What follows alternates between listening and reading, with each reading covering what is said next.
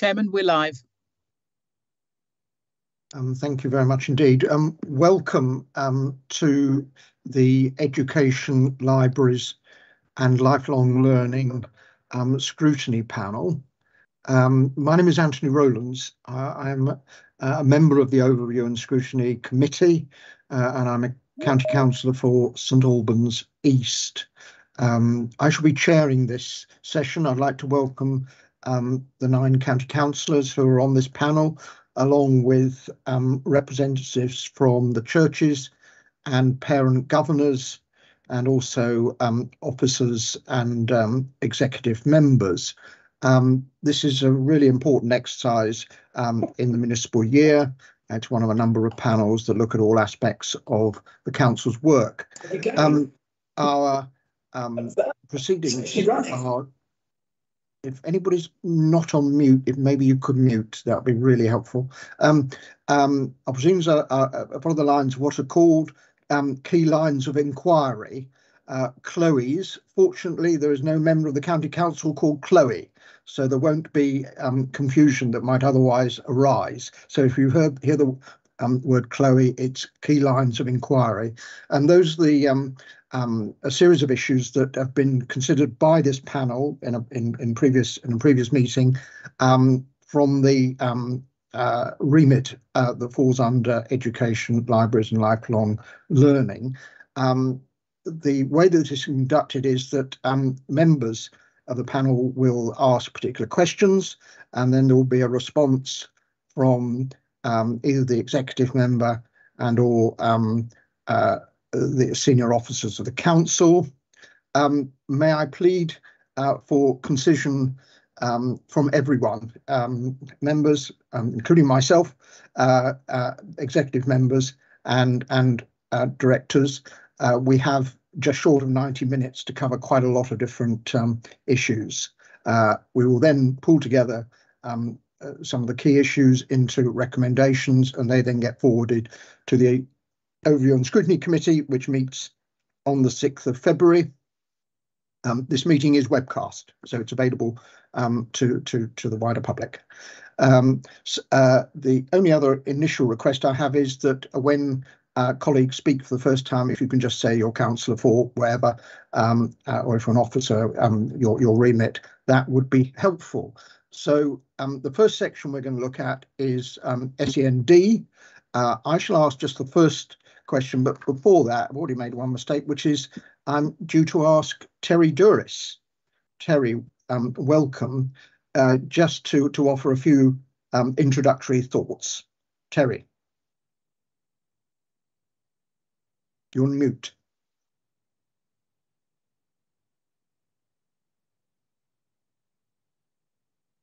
There we go.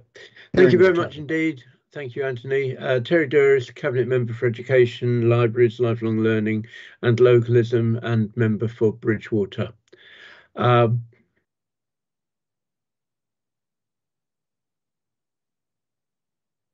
Firstly, some good news uh, that yesterday the DFE finally approved the start date for the James Mark Special Academy in September 2023, based at Roman Fields, until the new school building is constructed, something we've been waiting for for a long time.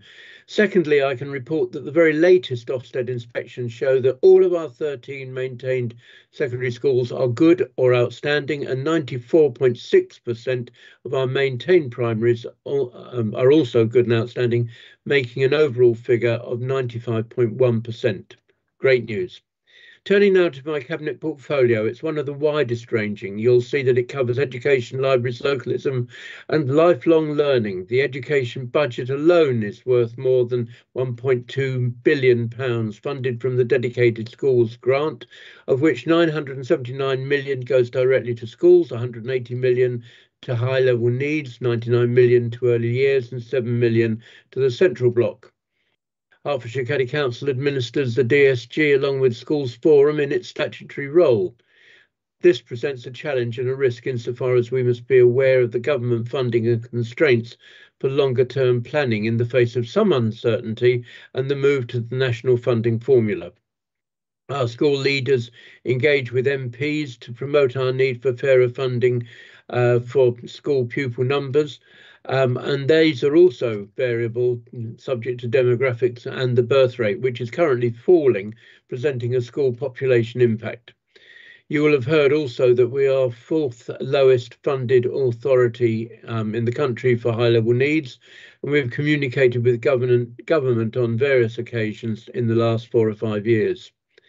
Educationally, emerging from COVID recovery, we are focusing on coming back stronger and narrowing the gap, working alongside our colleagues in HFL education. With regard to SEND, I characterise this as children's services, who obviously met this morning, uh, commissioning the need and education, our service, delivering the service. Not without challenge, as we've seen a 15% increase year on year in EHCPs, education and healthcare plans.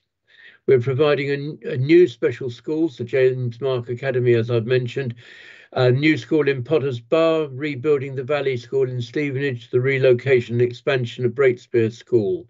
We have a robust and planned special schools place special schools place strategy due to be refreshed this year. We are creating four secondary special resource provisions and eight primaries uh, coming on stream between now and 20, September 24.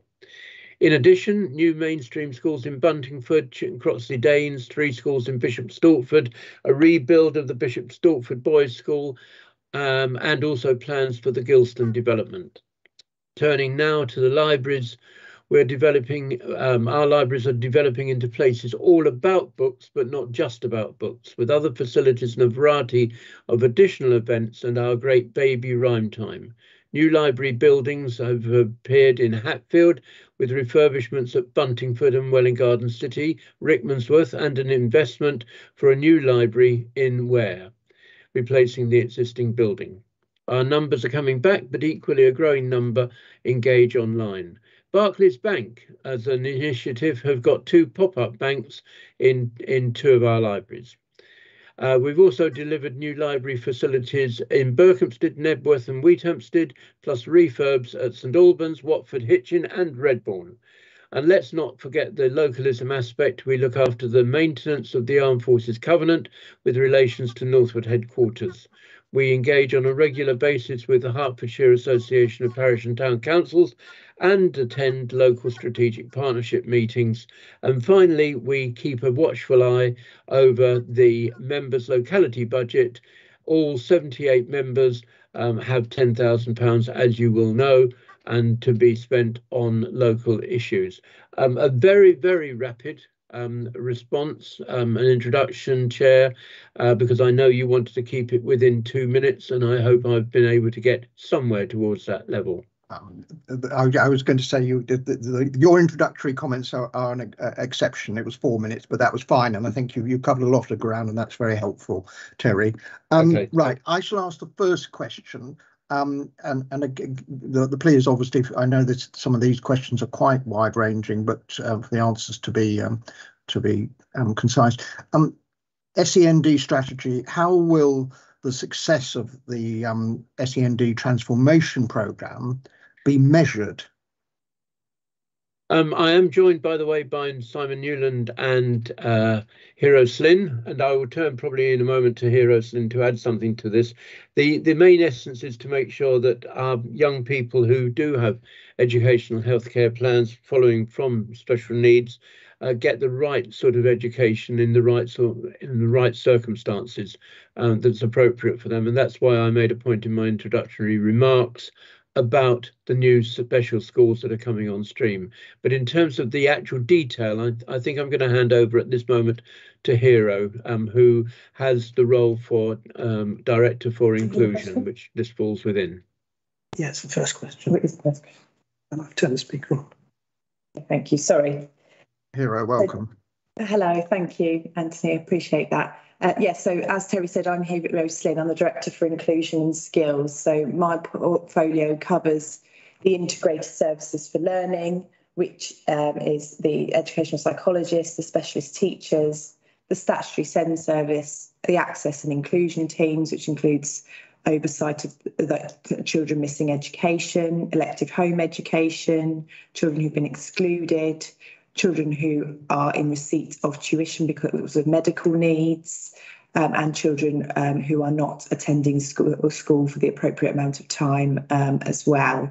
Um, I've also got the virtual school within the portfolio and you uh, focus on the measurement. The key, the question was, how will it be measured?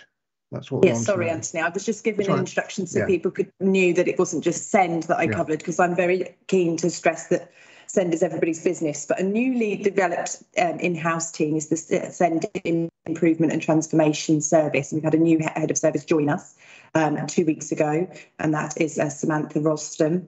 Um, and the question therefore around the success of the SEND transformation being measured, the SEND strategy was co-produced with families and partners and young people uh, one year ago now. And within that SEND strategy, there are specific pages, five pages that detail the KPIs that we will be measured against. Um, so that's really important to have as your reference because that is what we are using. Um, there are five key areas in the strategy. Uh, they focus on tailoring, enabling, provision, collaboration, and succeeding for children and young people. And if I give you some examples of some of the KPIs listed there, um, we've got uh, under tailoring the percentage of children and people whose needs are met locally for, for both EHCP and SEND support. Um, and then under enabling as a, as a as another point, we've got the uptake of professional training identified as recommended across health, social care, and education. Now, what we've been doing uh, with, with the new service, and I say it's new because it is now a permanent part of the structure, and obviously was a part that the IP uh, agreed to uh, this year um, to replace kind of the interim structures that we had in place before. Um, what we've been working on is redefining the strategic oversight of that strategy. So we've got a newly formed Send and Inclusion Strategic Board, and sitting underneath that strategy and that strategic board and our evaluation of where we are in terms of Send is a Send delivery plan. And within that, um, we are prioritising those KPIs that are in the strategy uh, because we, with with families predominantly and young people, to make sure that we are addressing the things that are most important to them first. Thank you. Um, I'm going yeah. to stop you there. I mean, I did Okay. indicate in contributions I hoped will be maximum two minutes. Um, that's helpful. I think that's a particularly the, the co-production and the KPIs and the information you gave there. That that's helpful. I'm going to move on to the the second question. There may be issues that have just been mentioned that uh, colleagues want to raise as we proceed. But um, the the second question, um, Teresa, in I Thank think you. the absence of Asif, I don't think Yeah, I- Asif's here. I Thank you, haven't seen Teresa. Asif arrive. Yeah, thank you very much. Hello. Um, so I'm Teresa Heritage. I'm the member for Harpenden South West. So um, in in your opening speech, Terry, you referenced a new school. I didn't quite catch which which one that was, and also the reducing birth rate. So um, what progress has been made on a, on the proposed new schools? Because there's more than one what and what steps are being taken to ensure that these expansions of send provision um, align with the current forecasts and demand? Um, the, the current forecast obviously um, continues to rise, although we would hope that the demand um, or the um, fulfillment of the demand will actually start to decrease to some extent because it's our ambition and our aim to get as many young people into mainstream schools rather than special schools um, because we feel that they will get a, a rounded education. Those who aren't uh, if you like, on the on the edges, on the on the borderline of of those uh, send requirements. Uh, the the new schools, there's a new school which is being planned or or um, in the old Sunnybank area, um, Sunnybank School in Potters Bar. Um, as I mentioned, we've got the school, um, the James Marks Academy, which is secondary school for 60 people, 60 young people in Welwyn Garden City and we've got the relocation of Breakspear School uh, from Kings Langley to Croxley Green with an increase in the uh, um, pupil number from 97 to 210 going forward. So that's just some of them. There are other schools which at the moment we are looking for sites um, to get a distribution of schools across the county. Um, it's worth mentioning, I think, that we we have to recognise that young people the, nowadays have different needs and different um, particular foci, so that a school is not just a special school per se. It may be a, a PNI school, or it may be an SLD school, or an MLD school. Um, there are unique circumstances for unique young people. Okay. Thank you. Thank, thank you for that answer. I'm not looking at if other colleagues have, as it were, supplementary questions they want to pose. Just put put your hand up, and I'll try and spot in the um, uh, on the on the on the laptop. Uh, okay, um, Chris Lloyd. Um, yeah, for the third question. Yeah, I'm going to slightly reword it because the wording is quite lengthy. Um, but yeah, thank you, Terry, for commenting on the fact that you know, funding wise, we are one of the worst um, from central government. So fully appreciate that, but particularly want to look at the education healthcare plans. I know from speaking to officers both at meetings and outside of meetings that we were hoping to see that come down dramatically uh, this quarter. So what I would like to know is where where are we at the moment? Because I think some of the challenges you have will be on staff recruitment, not that you haven't got the money to fund it. And that's the second part of the question I wanted to ask. So I don't know whether you or one of the officers wants to come in on that one. I'll I'll come in first of all, and then I'll go back to Hero if I may.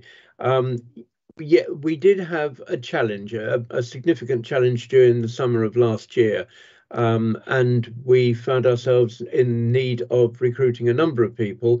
Um, to the best of my knowledge, we are now um, at strength, although it has to be said, and quite openly, we have a number of people who are new to the profession and they will also need some training to make sure that they fulfill their roles um, fully. But they are carefully managed um, and we we are pleased to have them with us, and and I'm comforted in the fact that we are getting back, if we're not already back to the number the number that we need.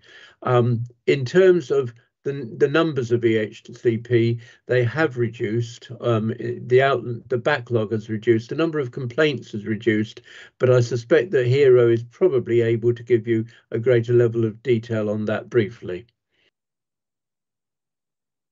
Yes, in the final quarter of this year, we issued 681 EHCPs between October and December. And in the previous nine months, we issued 674. So we issued more than the previous three quarters put together. So that shows the effort that's gone into um, getting those plans out.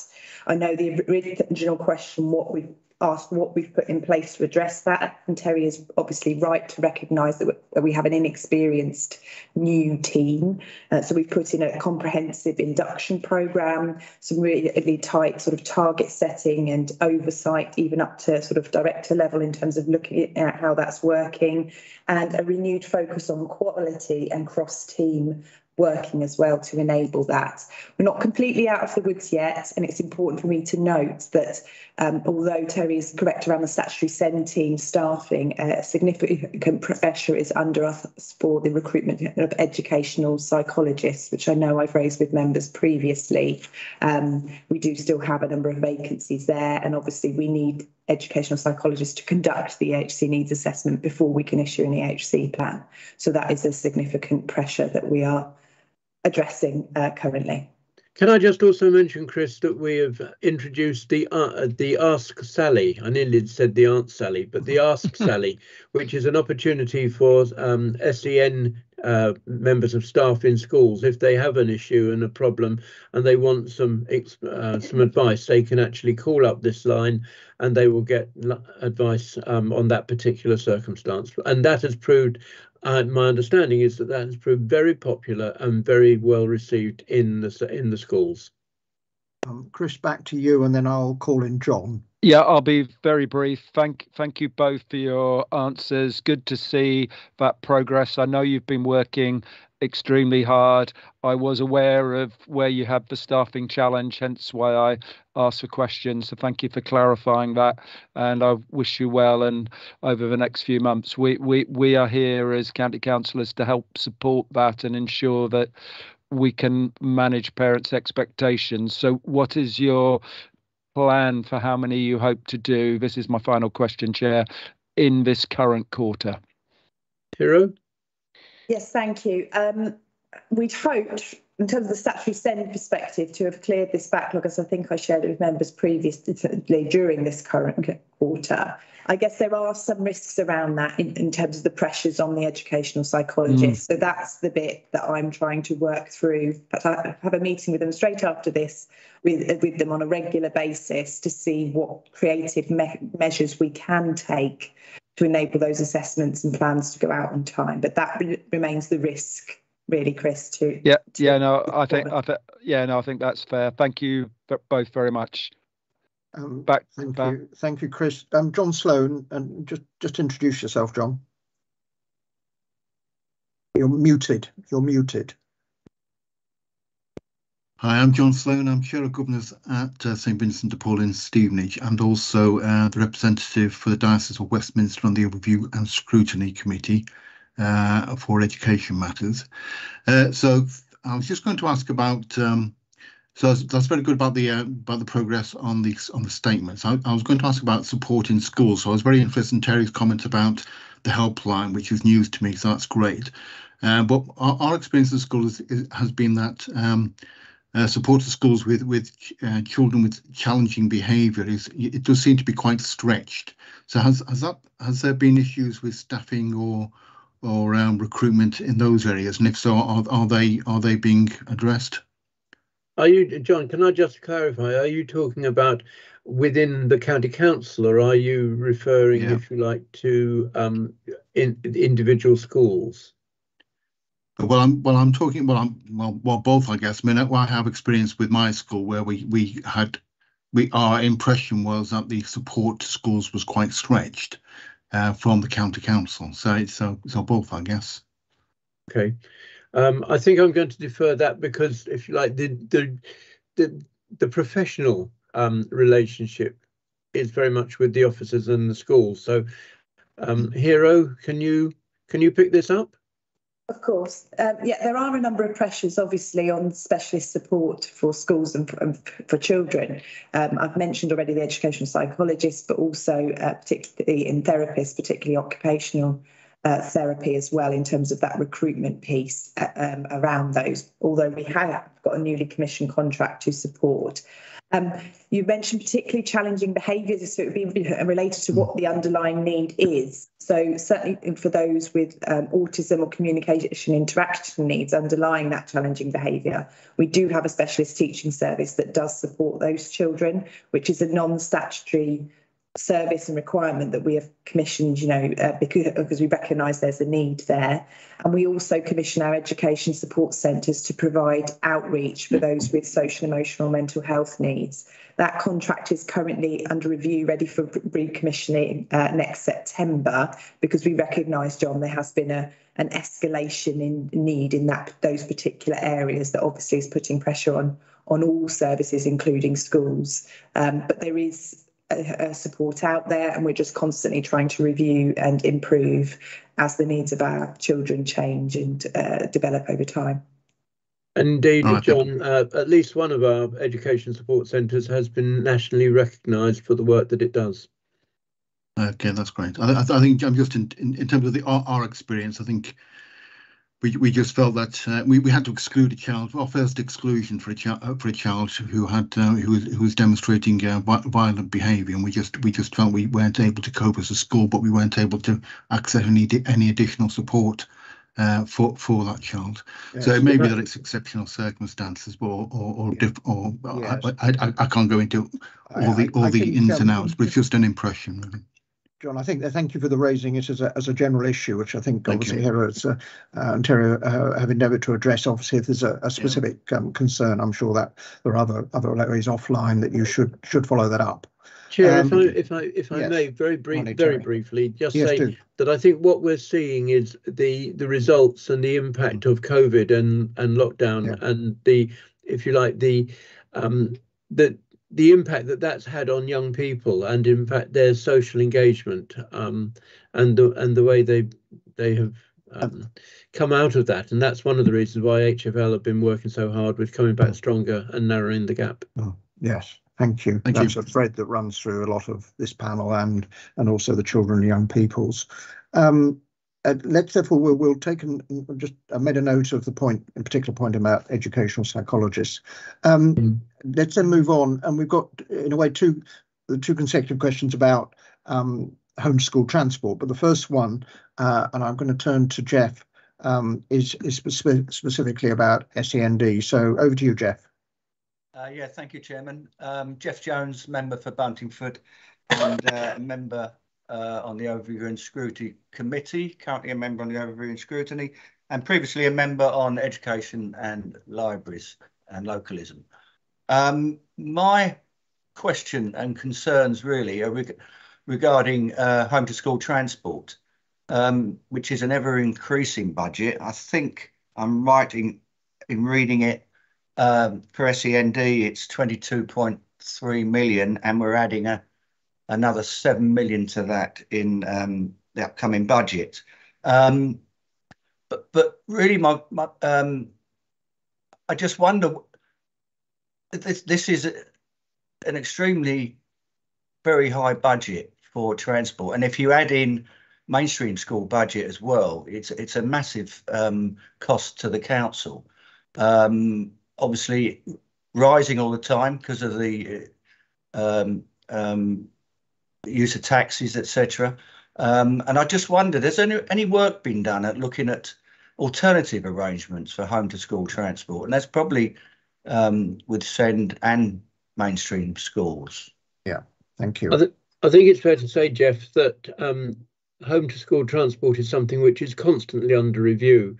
Um, and what you may not know is that we are currently out uh, or about to go out to a consultation, an eight week consultation on home to school transport um, with just to try and rationalize some of the elements that have, shall we say, grown over the years and have got slightly out of kilter, perhaps. Um, Yeah. to bring them back into into a formalized state, and some of those actually uh, would include. I think one of the most important elements of that is um, to encourage parents and carers to uh, take advantage of personal travel budgets, um, which actually allows them to make their own arrangements. It's a great deal less expensive than Hertfordshire County Council having to provide the transport, uh, and it does give them that greater level of freedom if they're using their own vehicles. So that's one. There's also a question over the um, effectiveness of personal assistance um, accompanying young people in Hertfordshire um, um, vehicles. Um, we've got we're looking at route optimization to reduce the the number of miles that uh, vehicles go if it's um, contracted services. Looking at seeing if we can actually have more children in any one vehicle than we do at the present time. There's a whole range of things that we're looking at um, going forward, but uh, I agree with you. I agree with you. Every year, it seems that the budget for and the cost of home to school transport increases, and it's Mm. something that we do um, have to address going forward. I don't know whether Simon wants to add anything to that in particular, or maybe even Rachel. Yeah, uh, just a, a couple of things really. I mean, there's, there's Simon, two could you just halves to. introduce yourself? Oh, sorry.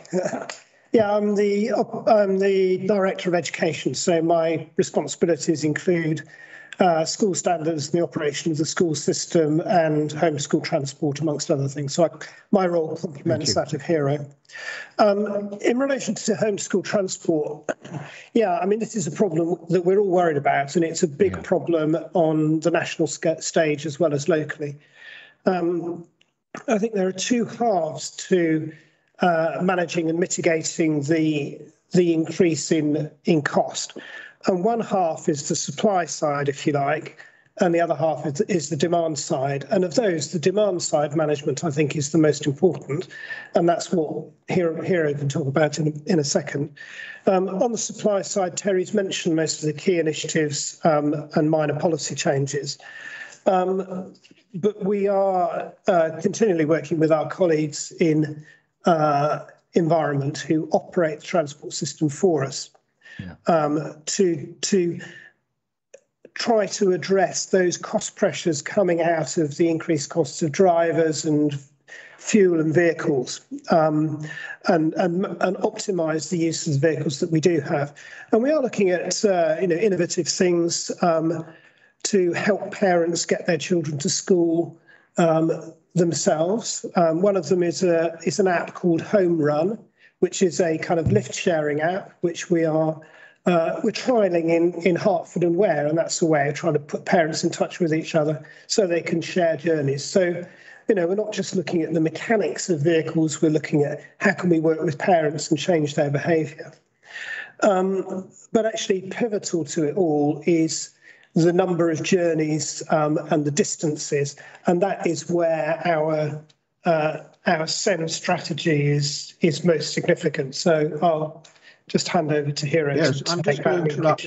That's very helpful. I'm just going to draw in Leslie because, in a way, this does overlap with the next question because you've already started talking about mitigations and I'll I'll um, ask um, Hero just to uh, say a little bit more. But Leslie, do you just want to ask your question so we've got it on the table? Yes, yes, of course. Um, I was just going to ask what's going what's being done to ensure the impact of the increased home to school transport demand on the environmental sustainability and that that's mitigated. I believe you've already started to speak about that, so I'll let you continue. Thank you. Yes, thank you, thank you, Leslie. Yeah, over to you, Hero. Hero. Shall I just finish dealing with yes, the, do, the Simon. Uh, it probably yeah. flows better if I deal with it and then go to Hero. Um, so we've talked about how to minimise vehicle use. Um, we are, um, you know, obviously there's a question about about if and when we move to electric vehicles, and that's very live in our minds. Um, at the kind of large vehicle end of the spectrum, there are not technological solutions available yet. So that's that's kind of a kind of later in this decade thing. Um, on the small vehicle end, uh, we do think that operators will start to explore um, moving to electrical vehicles, as, as all of us will be over the next few years. At the moment, we're, no, we're not specifying that um, because that would uh, substantially limit the, the suppliers that we have available to us in a tight market. But we also know that, that currently electrical vehicles, electric vehicle transport of that sort would be a lot more expensive. Um, so the main the main way of making our transport system more sustainable is the demand side. It's shorter journeys and less children travelling. Thank you. Thank you, Thank you very much. Just a brief further comment here, because I think there may be one or two other members who've got questions. Okay, no problem. Just to say, as Simon said, it very much aligns with the SEND strategy and the KPIs I referenced earlier. So the two of them in there talk about the percentage of children and people whose needs are met locally, and also our focus on driving down the, those that are placed outside of Hertfordshire. And that also aligns with the special school strategy that Terry spoke about as well, so that we can make sure we've got the right local provision for children to reduce those that travelling basically. Um, so that all these things align and to the same outcome. And the special schools placed strategy is due for review uh, in 2023. Good. Thank you. Um, could I just could I just say, Tony, just just finishing off on my yeah, question. Um, yeah, I mean, very good to see that um, there is work being done rather than just throwing money at it every every budget um, every year, increasing the budget, and that um, yeah, personal travel budgets. That sounds a good scheme. Um, route optimization, and uh, of course electric vehicles. So yeah, thank you very much for that. Thank you for the question. Yes, and obviously the figures we've got in our in the budget integrated plan papers are are, extra, are extraordinary, and and it's absolutely yeah. right that this is a top priority. Um, any other colleagues got any related questions? Uh, haven't seen any. One hand's gone up. John. But just following up on the sustainability aspect. Um, so could, could I just ask what um, what support has been given to schools to um, to help them uh, with the with the sustainability agenda, and in particular, what support they're being given to reduce their energy consumption? Uh, yeah, I don't want to get too widely into uh, this is focused on transport, so we're just focusing on the uh, the response on transport to that question. Uh, um, and, and, and Anthony, can I can I have yeah, a 10 second comment yes. to say that we have engaged with Salix to get a wide range of uh, energy saving opportunities within schools. If your school hasn't signed up to it, come back to me and I'll yeah. put you in the right direction. Thank you. Um, I think it was specifically on transport, John, the first part of your question, wasn't it? I don't know whether any officer wants just to sort of respond to that, but um, I think the, as, the, as Terry's the Terry's was, yes, the, the, the authority is trying to be as proactive as possible in communicating with schools to encourage them to uh, to, to, to go down the right lines. Well, there's also the encouragement to actually walk the last 500 yeah. yards or, yeah. or, or something similar. Um, you don't have to actually have a car take you to the front door of your school. You can actually walk a little way, perhaps. Be assured, I suspect every county councillor, John, would say three cheers for that because the amount of problems we have to deal with with people going to park outside their schools is probably the one thing that we all have in common. Um, Absolutely. Right.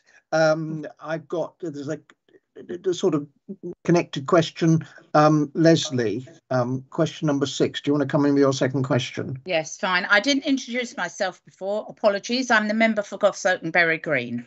Um, when demand in a local area for schools are not sufficient to enable school provision to remain viable, leading to a school closure, what will be done to avoid the resultant increase in demand from holding to school transport? I think the first thing to say, Leslie, is that the last thing that anybody wants to do is to see a school closed. Um, we did see a school closed in Ware in Wareside last last year, um, but the the simple fact there is that the numbers were so low, it it simply wasn't viable. And so when you get to a situation where the numbers are so low, I would probably say that the impact on the, the environment for the relocation of uh, pupils is is is marginal. Um, having said that, um, we would always, always um, endeavour to relocate those children in the nearest school to them. And it's also fair to say, and I think it's worth making the point, that thinking about that particular school that closed and any other small, very small schools, is that frequently to maintain their sustainability, they actually draw in pupils from a wider area. And so actually they are, shall we say, contributing to the um, the the detriment to the environment by coming in from the other side of the nearest town simply because this that particular school might be very small it might have a particular focus on the way it treats young people. So there are a number of things. It's not just a question of how you relocate children. It's not just a question of the sustainability of the school um, per se. We nobody wants to see a school closed, and and particularly in village schools, um, it may be that there are opportunities for schools to engage with each other and share some of the costs. Thank, Thank you. you. for that. Anybody else want to? I think that's a comprehensive answer. Um, could I just ask a question which slightly perhaps relates back to the previous questions? um, but it was mentioned, I think, by Simon when you talked about national policy. I'm just thinking in terms of homeschool transport, we are um, um, you know, a very numerous county. Um, geographically, we may not be the biggest. There must be other counties where the cost of home to school transport is, is an even greater burden. And to what extent do we um, look at good practice elsewhere in aiding us to try and find ways of uh, mitigating the increased costs, which are obviously dramatic. Simon, do you want to? Yeah, uh, there's there's a uh, there's a pretty active um, kind of um, East of England officer group which meets to talk about um, homeschool transport and talks about policy, uh, you know, the policy decisions that are that are, are, are possible. Um, so ideas are exchanged there, and we feed our views into um, the national associations in their dialogue with uh, government. And of course, you know, there's a, li a, live discussion about what changes might be made to um, uh, national regulation and provisions around transport to mitigate the impact of cost increases. Um, but yeah, it's as I said, it's a problem which many other authorities share. Um, recently, um, uh, I think members had some discussions with Buckinghamshire, who have perhaps an even more acute homeschool transport budget pro problem than we do. Uh, but there are no, you know, the legislation within which we operate is very clear cut. Um, the external market is challenging and therefore there are no easy answers to this. Indeed. No, thank you for that answer. Anthony, um, I, can I just make yes, do, straying into highways? Um, don't forget we have the um, demand responsive transport being rolled out or already operating in the east of the county, and that runs from I think seven in the morning to seven in the evening, and that gives a, uh, young people an opportunity to catch a local bus if they're if it's available to get to school. Good, thank you. At seven o'clock in the morning. I'm sure they'll be keen, but it's from seven o'clock. Thank you. Um, what what uh, number seven? Yeah, seven again. Um, Chris Lloyd. Okay, thank you. Just quickly on on that one, I think one of the challenge challenges that we have in Hertfordshire, obviously.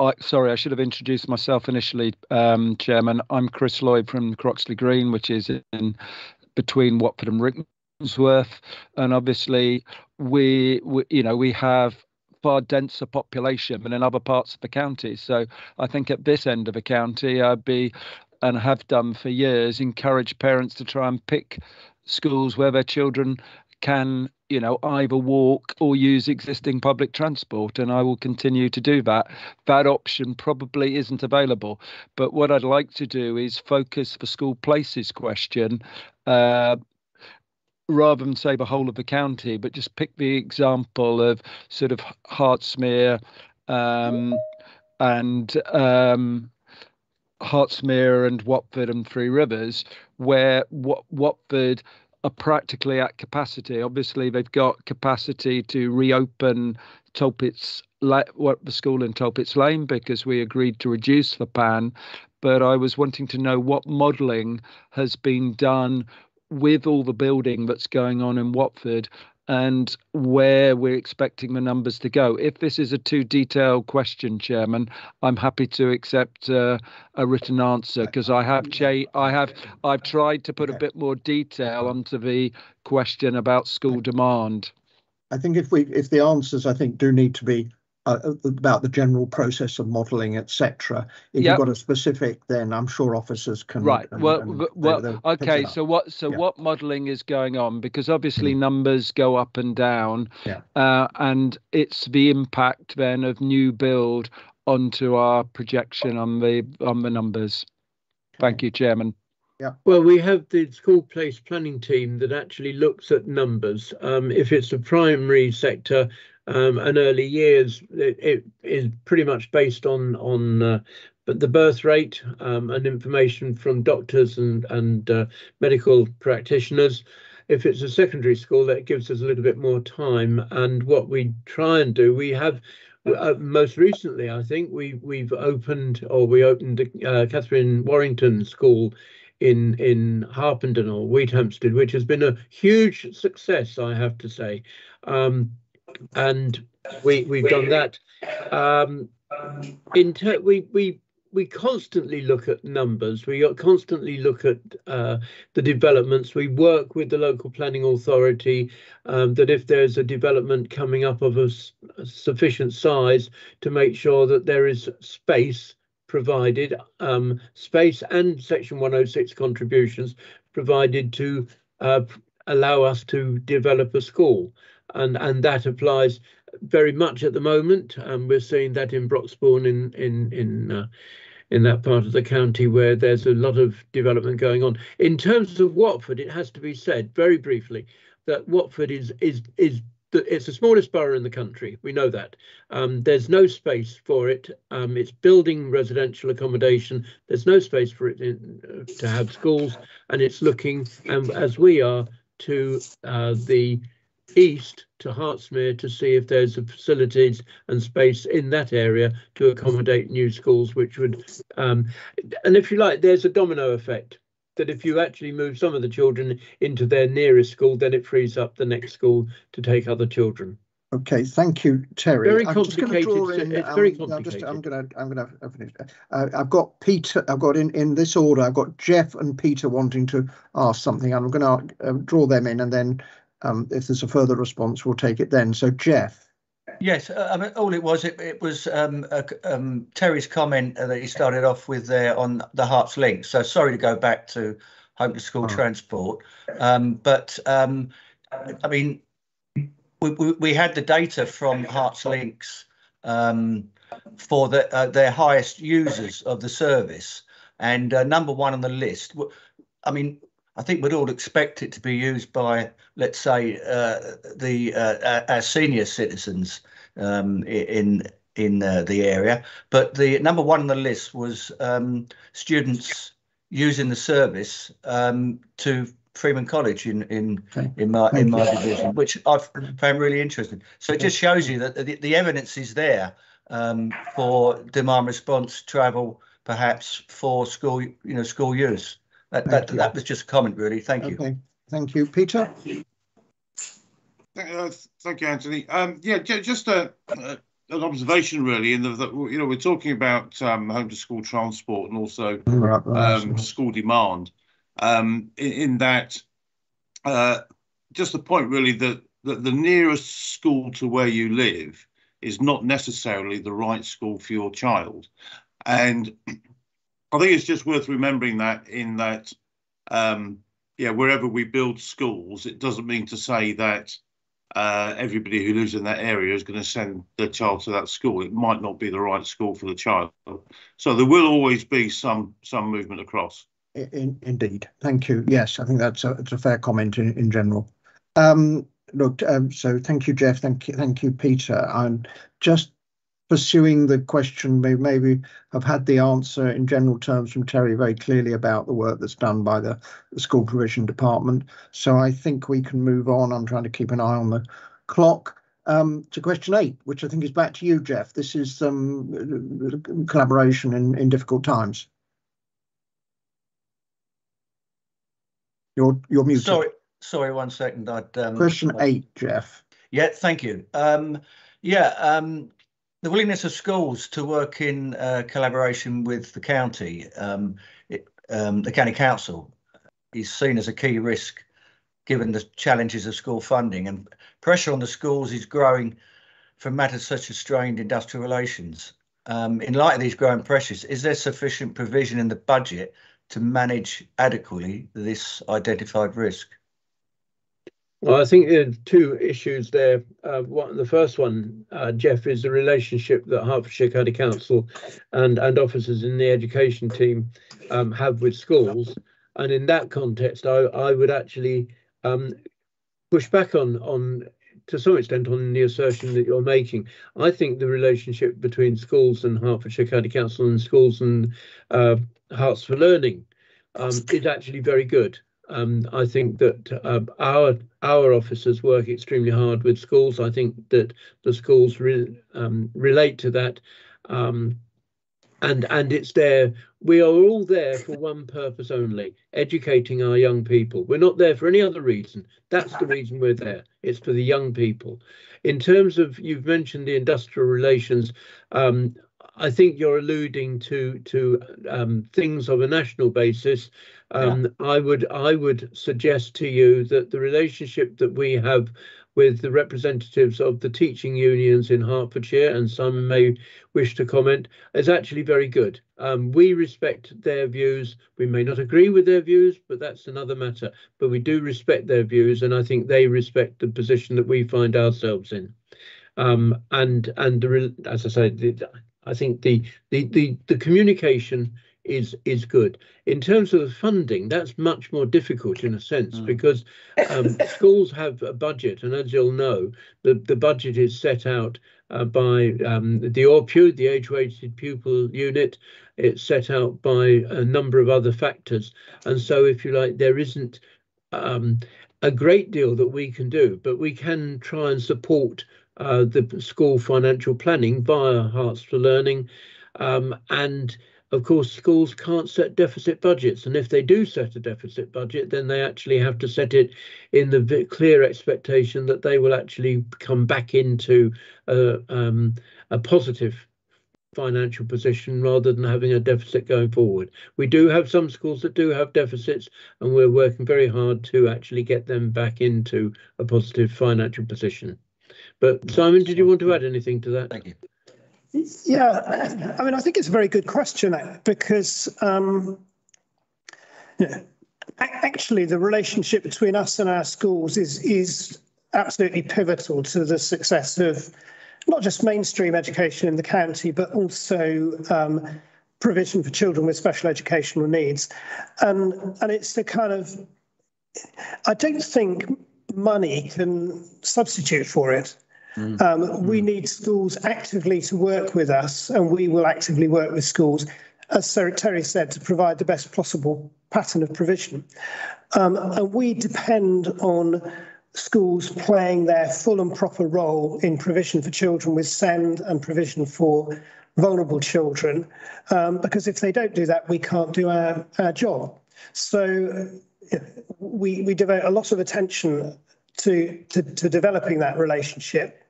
Um, and you know, through this year's uh, high level needs budget process, you know, we, we, we engage very closely with schools representatives and with schools on schools forum, um, and we pay great regard to, you know, what we know are the financial pressures on mainstream schools in terms of children with complex needs. So that's an area of budget we've protected. But if if our relationship with schools were to go, then I think we would be in deep yeah. in deep difficulty. Thank you. Yeah. Thank you both for those answers. For I've that. got now, I'm going to, uh, John wanted to ask a question. John Sloan. All right, thank you. Uh, so thank you for all that. It's all very interesting. Um, one of the key pressures on um, on budgets at the moment is um, supply teachers. Uh, so through through supply through agencies. So it does seem to be becoming more difficult to recruit teachers um, at the moment. I mean, Jo Fisher mentioned in the Children's Services uh, session this morning that she was developing a recruitment strategy for social workers to proclaim how wonderful it is to come and work in Hertfordshire. Are, are we doing anything similar for for teachers? Thank you for that question, John. It's one I posed as well as in, in another forum. Um, who wants to respond on that? I'm I'm going to respond and say that I'm handing it directly to Simon Newland. yeah, um, I think it's not just teachers actually. Uh, we, we we've got this problem within children's services about about recruiting a whole range of professional and paraprofessional staff.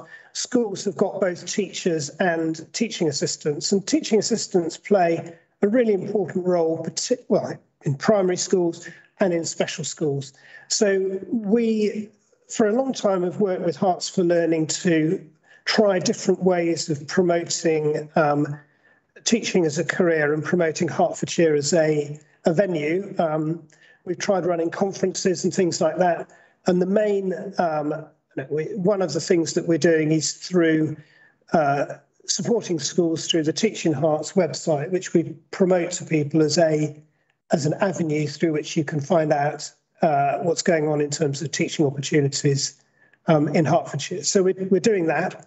Um, we work with our partners in the uh, in the teaching schools, the teaching school hubs, and that's the um, the Sandringham-based um, Alban Trust that's one, and then the Chiltern, Chiltern Trust that's the other, and they provide um, newly qualified teaching, newly qualified teacher support programs, and HFL support further the training and development of newly qualified teachers, because you know not only do we need to get people into the profession, but we need to keep them in when we've got there. Um, and most recently, we're looking with Herts for Learning at a kind of promotional campaigns through advertising and social media and so on to make sure that people within the county are aware of the the uh, the rewarding nature and the opportunities that are open to people to be teaching assistants, learning support assistants in a number of, of areas. So um, I think we're doing quite a lot. We're always thinking yeah. about what more can we do. Uh, but again, you know, this is a national problem, particularly in specialist, uh, in shortage areas, specialist shortage areas. Um, the, you know, it's like thank painting you. the Forth Road Bridge. We have to keep going at it all the time. Okay, thank thank you, um, Simon, for for elaborating, and, and thank you, John, for the question. That is that is a, has been a theme across a number of these panels. Uh, it won't surprise you.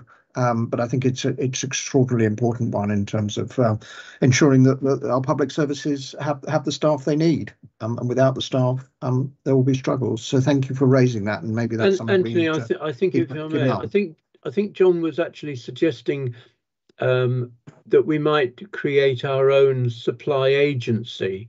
Um, I'm not aware that we have any plans to do that, hmm. um, and I think it would probably be another another avenue um, that would yeah. would probably be less be best left, albeit expensively, um, to the agencies that are already operating.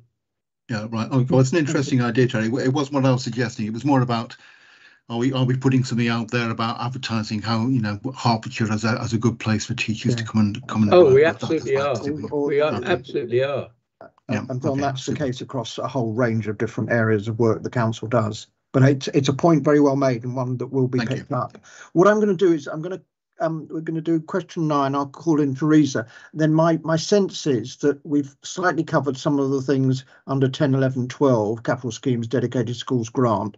Uh, I'm actually going to then move, move on to libraries.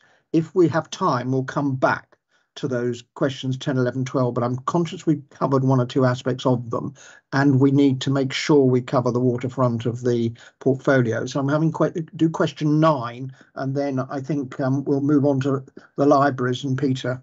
So question nine, um, Teresa. Okay, thanks. Yeah, um, this is more. This is around vulnerable children in quotes. Um, what steps are being taken to reduce the risk of vulnerable, vulnerable young people losing educational opportunities as a result of pressure on school budgets? I'm also thinking about the virtual school here as well, please. The virtual school actually all sits within children's services. Oh, okay. Well, yeah, okay. I know that Hero hmm. knows the answer, but um. Hero. All right. I'm, I'm, if if you know that Hero it. knows. Hero, no, Hero. Hero, go. You're, you're on mute. You're, mute. you're muted. Mute. Keep up, Simon. Yeah, sorry, that is my fault. It's not here. I'm controlling the button, not doing it very well. Um, I think I mean, we were expecting. No, that, this, that's a question for Hero. Been, uh, uh, was, sorry, I said for the answer. You you decide, but but just give us an answer. So, so Simon's going to answer initially, and then I'll follow around the bit about the virtual school. Yeah. So um, there's, there's there's kind of several le levels to this. One is the partnership that we've just talked about, and its significance in uh, you know working with schools for each of us to play our correct respective roles around vulnerable children and to make sure our services are properly joined up. Um, but of course, for schools to play their role, they need to be appropriately supported and they need to be appropriately resourced. Um, and I talked earlier on about how, you know, we're trying to make sure that the children with SEND, um, uh, uh, many of whom are vulnerable, we are adequately re resourcing mainstream schools to, to look after those children. Uh, and you know, over the last five years, I think we've increased our, our spend on complex needs in mainstream schools from about six million um, to around 30 million. So there's been a huge increase in the financial support that we've provided to schools in relation to those vulnerable children and children with SEND. Uh, we've talked about the, the uh, Ask Sally line, and Hero can talk about the other support services that we offer. Um, but we also work with schools um, on an institutional level uh, to encourage and support them in, in um, their work. And again, in particular, in relation to inclusion and SEND and inclusion, we have a programme of visits which uh, HFL takes to, uh, undertakes on our behalf, and every school is visited or offered a visit on a three-year cycle to uh, review with them their uh, SEND and inclusion policies. So there's a set of things that we yeah. do. Um, but here so, I might want to comment on support services so and can, can I just can I just ask Simon, do you think there are any vulnerable children that are missing out? Uh, yes. Um, I mean, one of our one of our uh, concerns, our continuing concerns, is uh, children missing education, a kind of defined category of children who you know, we know are not uh, receiving the education that they they ought to be receiving.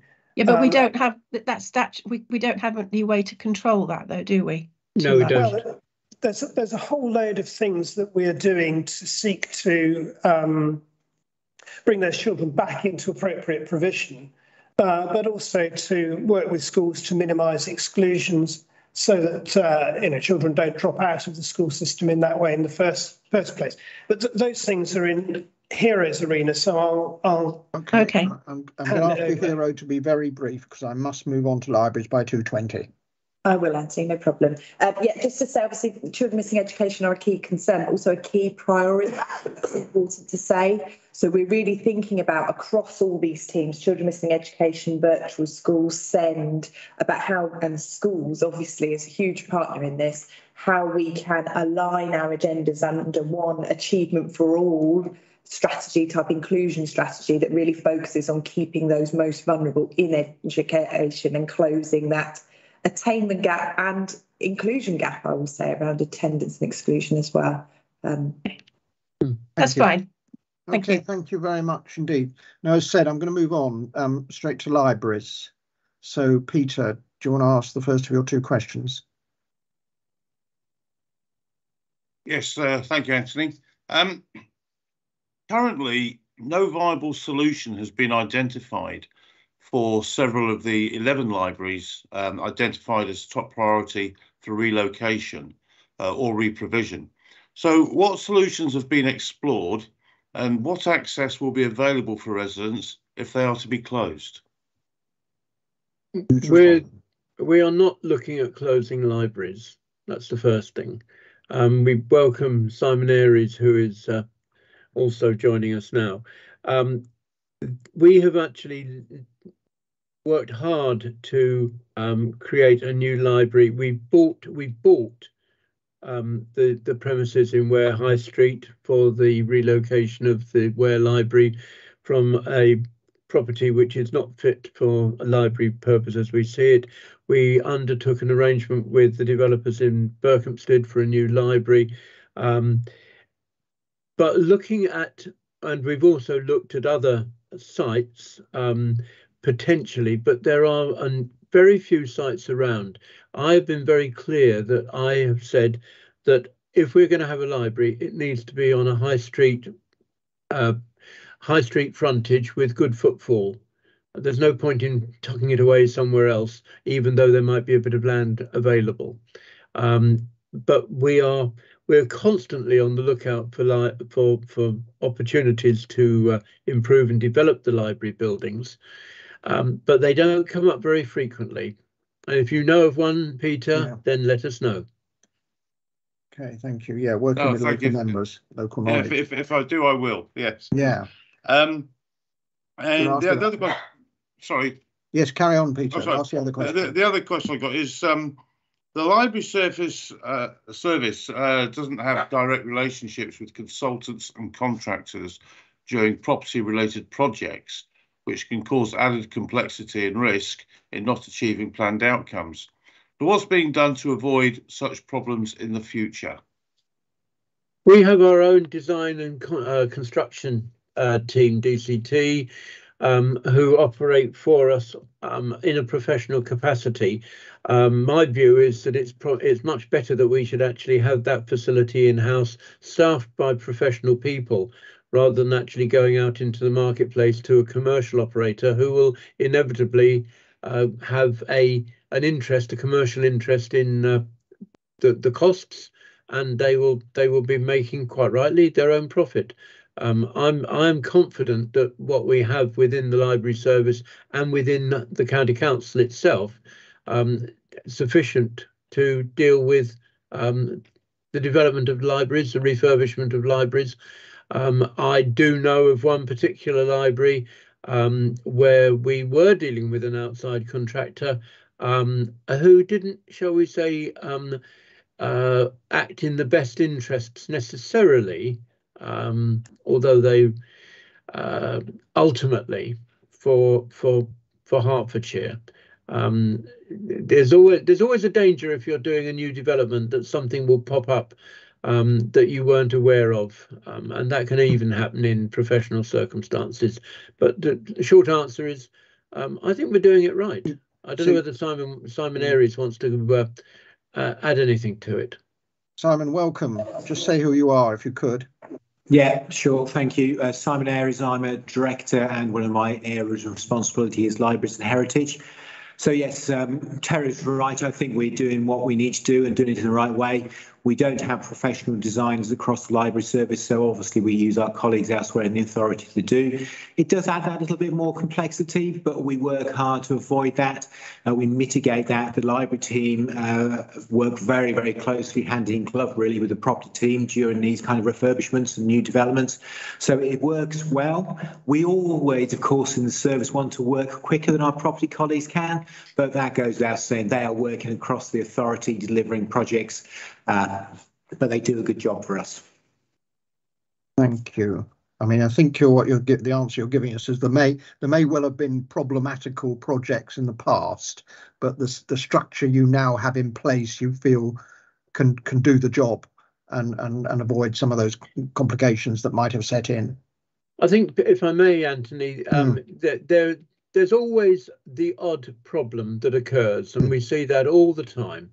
Um, and but I I think that Peter, um, unless he has some very a range of specific incidences, is painting a, a bleaker picture than actually existed. I, I'm I'm jumping to Peter's defence insofar as a he is nobly a substitute on this panel, and b and therefore was not involved in putting together the original questions, but was given the I volunteered him to ask this question, so he's 100% innocent of any any any backstory that, that's motivating his question, and I leap to his defence as ever.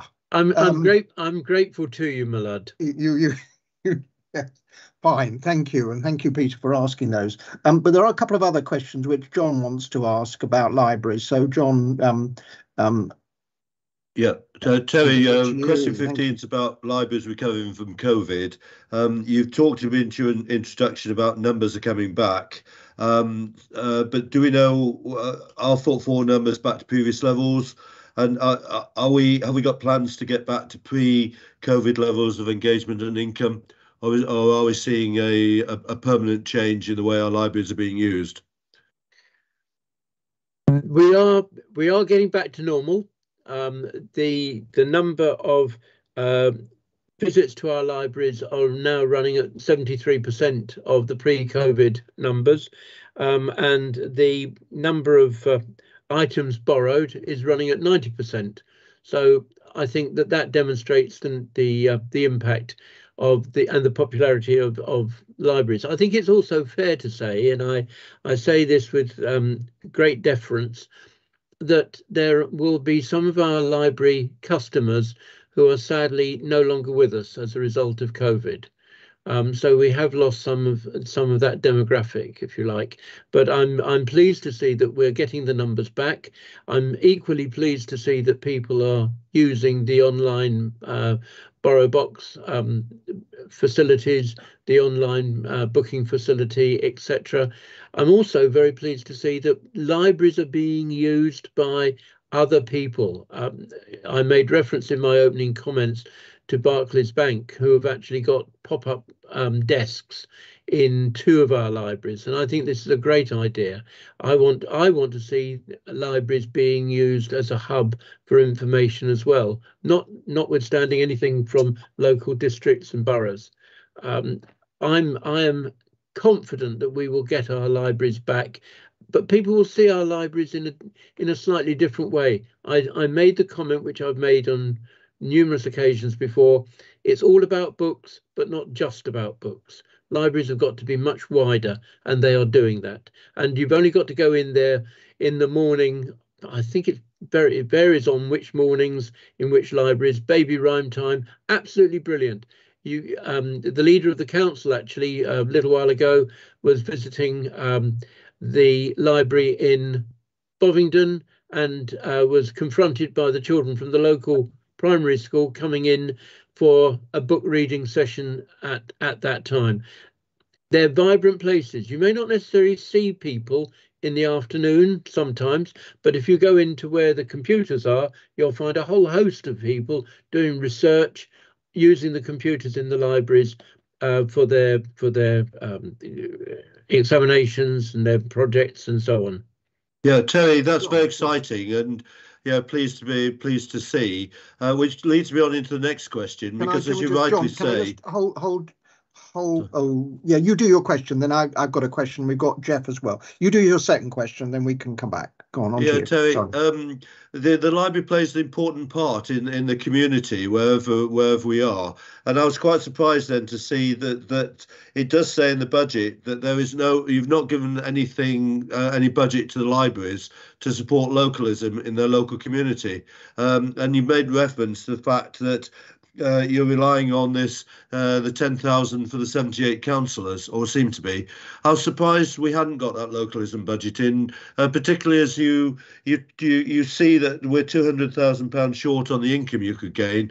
And I'd have thought um, gaining that income is an important part of that engagement with the local community. Uh, we are, if if somebody wants, if if a member wants to contribute anything from his or her locality budget towards a project within the library, that is something which is entirely up to them. Um, as you know, the locality budgets are are, are very flexible operation.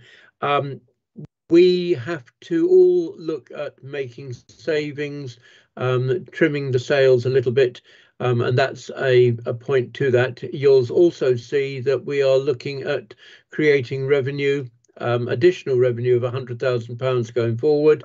Um, that helps to uh, neutralise that that saving. We we the libraries they do have a budget. Um, it may not be as much as they would like it to be, but they have a budget, and with a level of ingenuity, we have some fantastic library managers who will come up with ingenious schemes around Christmas time to make their libraries look good, to encourage more people into the libraries. We have a promotional facilities that we promote online. Um, if you go on to update me, you'll get you'll get information about libraries. There's an awful lot going on in your local library. Um, and and if you if when you're in there next um, I would like to think that every every one of our 78 councillors will will make a visit, perhaps once a month, just to, into their local library and say, "Hi, I'm your local councillor." yeah okay Good point. Good point. Um, um, Jeff and Leslie, I'll just take your contribution. So Jeff first. Yeah, uh, thanks. Uh, yeah, Terry, I visit my library um, regularly. as, exactly as you say, I pop in and uh, speak to the manager and the staff and check everything's okay and, um, you know, any issues they want me to take forward. But um, just going back to, um, you were talking about the pop-up banks, an interesting one that we've got in two of our libraries. Um, you know, uh, bank banks are closing their branches all, all over the place, as I'm sure we're all um, have suffered with that. And um, uh, is it was that an, an initiative that the banks approached the county council about, or was it the other way around? The county council uh, approaching banks and offering that service because obviously there's there's an income stream there. And and just adding to that, um, we seem to be having the same issue with post office. Um, you know, they're closing branches, etc., looking for new premises, uh, pop-ups that might be another area. It could be something that's already happening at, in our libraries. Perhaps you could, um, you know, just briefly uh, update me on that. Well, I think I think the first thing to say, um, in particular reference to uh, post offices and banks, um, where there is money being handled, um, that may not necessarily be the right facility within a library. Having said that, if there is an opportunity, then I, that's something that we would consider. But bearing in, we have to recognise that the positioning of a post office is down to post office counters Yeah. limited rather than libraries. Um, in terms of did we approach Barclays or did they approach us? Um, Chairman, I notice that Michelle Murphy is on Mm. the line. I don't know the answer, but I think Michelle probably will, and she can Okay. say it in one sentence. Thank Oh. you. Michelle, introduce yourself in one sentence and answer. Terry, over to you. Good afternoon, everybody. I'm Michelle Murphy and I'm the head of libraries.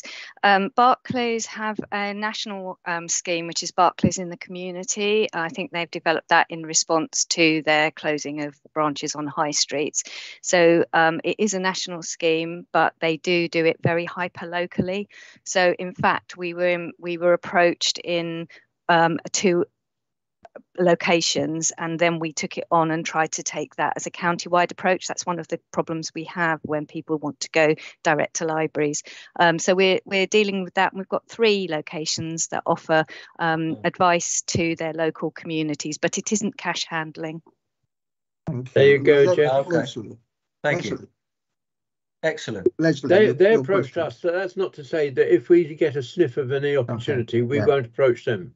Thank you. Uh, the beauty is, is that, that, uh, that, as you said, our libraries are centrally located, so um, yeah. perfect for the community to use um, banking and post office facilities. Thank you. Thank you, Jeff. And finally, Leslie.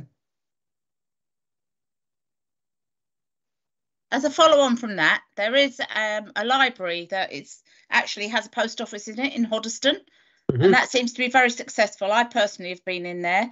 Um, that works really well. It's quite a large library. That wasn't what I was going to say. I was going to say we go to our local library and we've had author talks there that have been very good. And we've also had local people giving various talks in there. So again, that's another revenue stream and it works really well. And that's Goffs Oak, which is a community library. And I've also been to author talks at Cheshunt Library. So they work really well. Um, just praise to the library service Thank for offering that. that. That's really good to hear, Leslie. And can I just say that I am I hold the record for being the only person to visit all all 46 libraries in one week in Hertfordshire. Oh wow! I'm, I'm, I'm, sure the the honours board will take note of that. Um, well done. Um, look, seriously, I mean, thank you for those answers. And I mean, your initial uh, comment, um, Terry, there maybe users, who, uh, ex-users of the library who are no longer with us, but equally your your your observation about um, um, baby baby rhymes, and thank you for not offering one, um, is is is about new new users and and hmm. future generations, and that's that's incredibly important that young children uh, get into the habit of, of, regarding the library as a place that is important to them for whatever they want to go to do. Um, and if I may, if if I may, in Hemel Hempstead Library, we have the National Visa um, yes. uh, facilitation scheme, which is run by the Home Office, I think it is. Right. Um, okay. Um, and that right, provides two, and that two formal that sections to go, um, and and um, 14 minutes. Um, uh, right, I'm going to ask the question um, question 17, which is about archive accreditation. And we're told that in order to retain archive accreditation, it's essential the new Archive Visitor Centre make progress in 22 23. That's in the early parts of the papers. Um, what headway has been made so far this year or to date? Um, but um, elsewhere in the papers, it's stated that the project has been delayed until 2026 27. Um, those would appear to be contradictory statements. Um, could we find out exactly where we're at and uh, how those two statements can be reconciled? I, am going, to in, I'm going to introduce the answer and then I'll hand over to Simon Aries for the um, reference to the 26 27.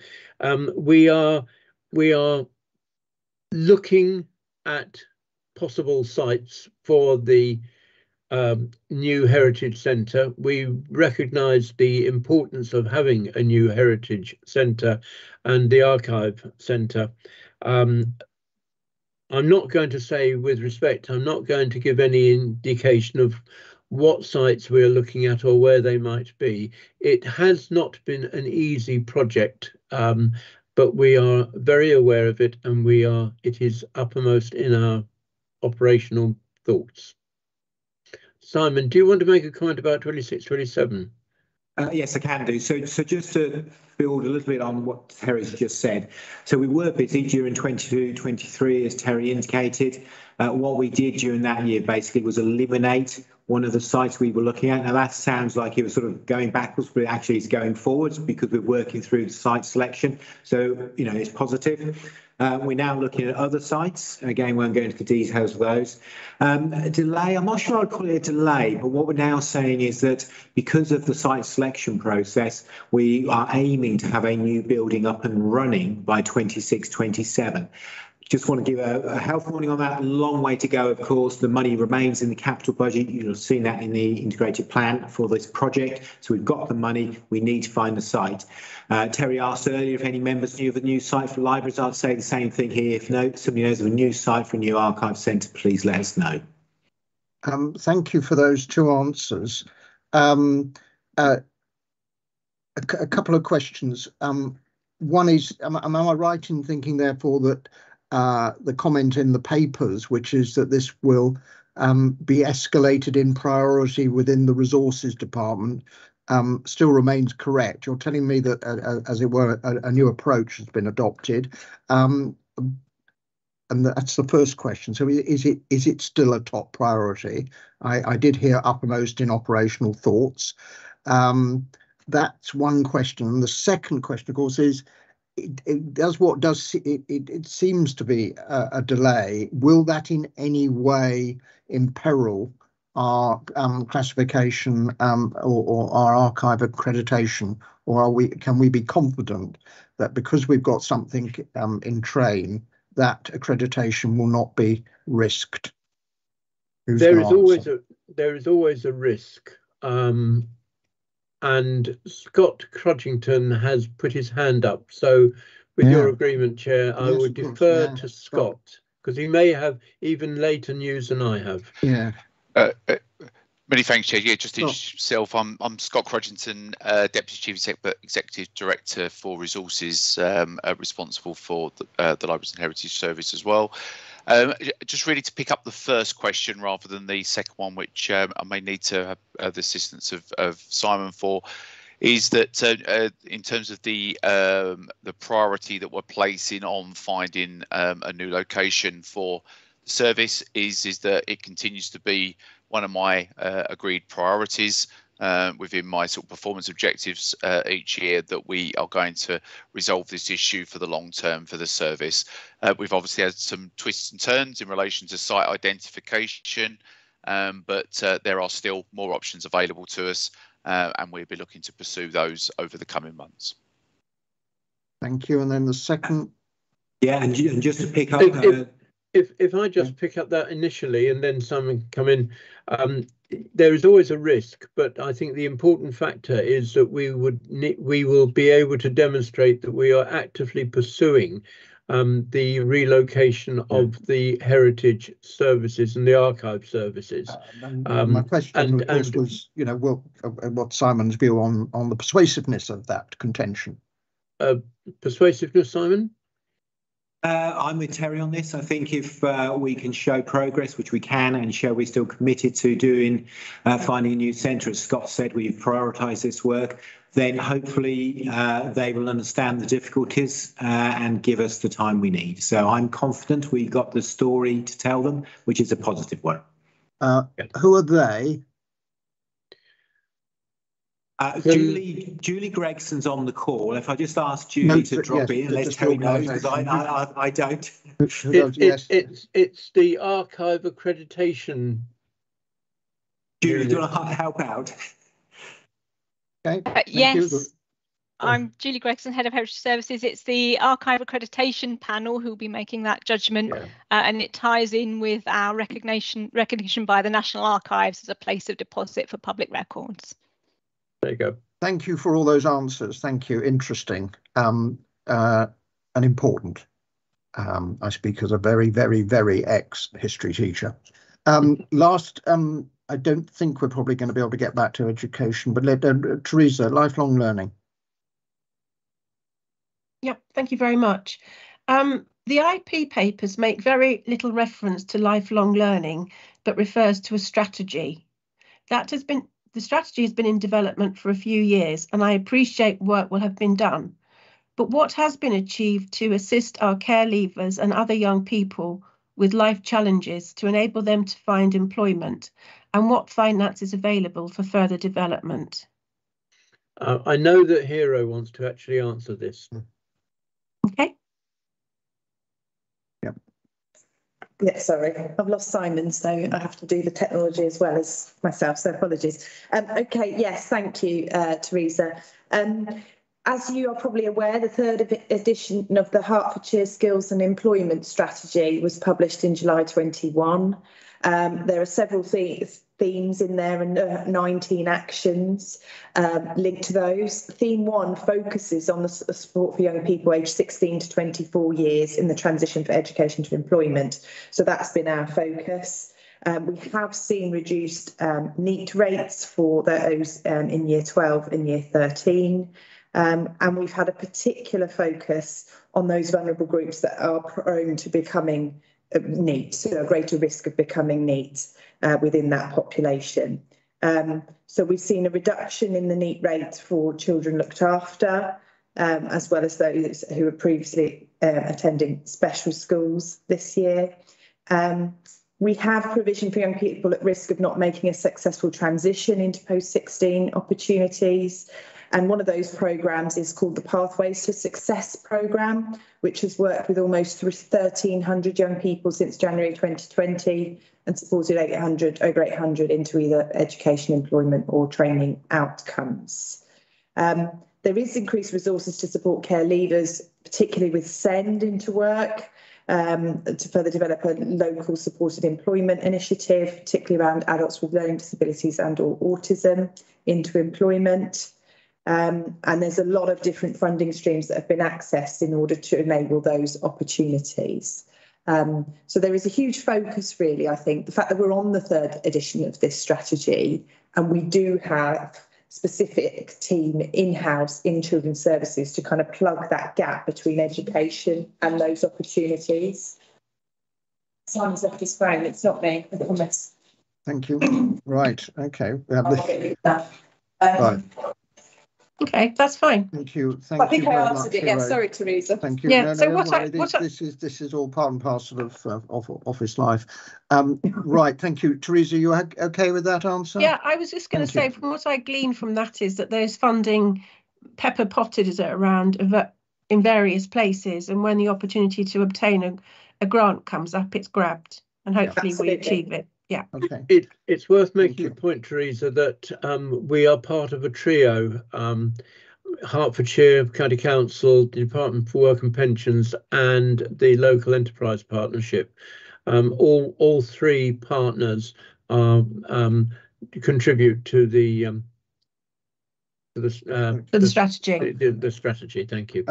Okay. Look, thank you. Look, um, we have four minutes left. I'm going to use my chairman's right, maybe just to go back to one question we didn't pose, uh, which was question 10. I'm, I'll read it out if John forgives me, but it was the expansion of Watford UTC has been cancelled due to DFE not granting approval of extending the age range for the school. Have any alternative solutions been identified in place of this scheme to increase school spaces? I hesitate to say I might be opening a hornet's nest, but if someone could just give us a brief answer, because that question was one that we included originally. So who's going to answer that one? It, it's worth making the point that Watford UTC is actually not a Hertfordshire County Council establishment. It is actually a Department for Education establishment.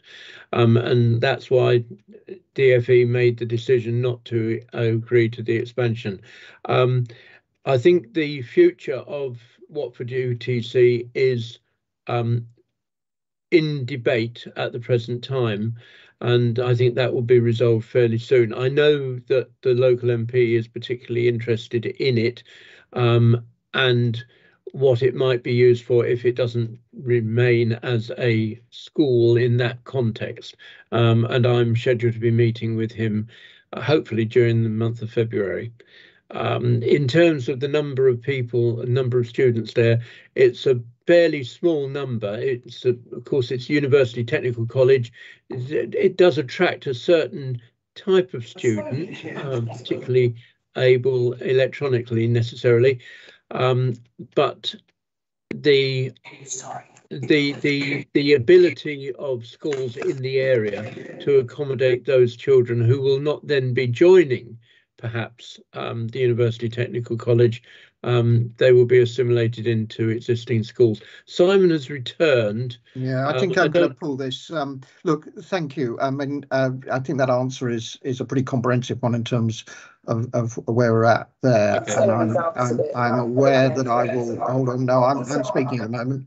Um, I'm aware that I think at 250 the, the world comes to an end and we get cut off. So I'm uh, conscious that it's 249 and that um, we have covered all but two of the questions. My humble apologies to, to Jan, who was down to answer questions 11 and 12. I think we covered some, there was certainly one of the, one was answered en route. And I think we, we've talked around some of the other aspects of question 12. So um, apologies if Jan, you feel that um, a, a, a, written answer, as it were, would be appropriate. We can certainly generate that and we can talk about that um, in our next session. So look, um, um, thank you to um, uh, to members, uh, but also specifically to uh, executive member and um, to officers for their responses.